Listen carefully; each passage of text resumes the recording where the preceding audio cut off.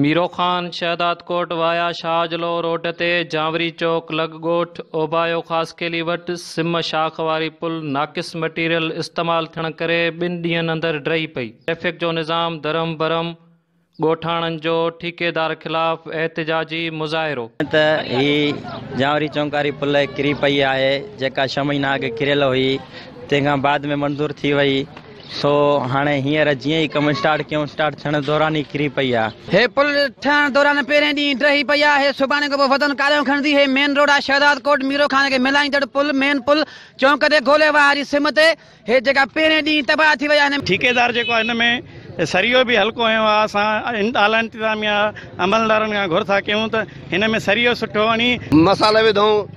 कसो सरिया अपील था कयूं त पुल راس ठही वञे हलंदे जॻह ठाहे किरी पई कैमरामैन अब्दुल रहमान राजपूत सां जान मोहम्मद वॾो सिंध टीवी न्यूज़ मीरो ख़ान